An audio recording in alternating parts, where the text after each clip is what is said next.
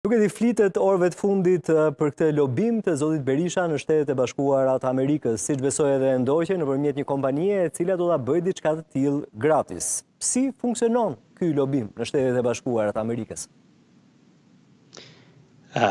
Lobimi në parim funksionon si kudo tjetër, pra ideja është për të për t'u interesuar së pari në lidhje me faktet që ndikuan në marrjen e vendimit dhe pastaj për të ndikuar në ndryshimin e atij vendimi. Ku do të interesohet kompania, zoti Mema? Pranë Departamentit Amerikan të Shtetit, se këto janë detaje të rëndësishme. Patjetër, kjo lind sigurisht nga vetë akti i cili sjell në fuqi këtë lloj përcaktimi publik që ka bërë Departamenti i Shtetit, Është një akt i cili ka ardhur një akt kongresi në vitin 2008, pra në administratën e zotit Trump, në fillim ka qenë fillimi, dhe që atëherë Departamenti i Shtetit në bazë ligjore pra të filluar nga Kongresi Amerikan ka fuqinë për të përcaktuar në mënyrë publike ose private, pra jo gjithmonë do të bëhet publikisht ky lloj përcaktimi,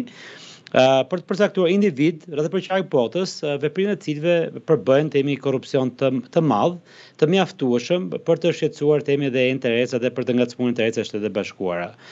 Ky është një përcaktim dhe ky është një veprim që është bërë në mënyrë të vazhdueshme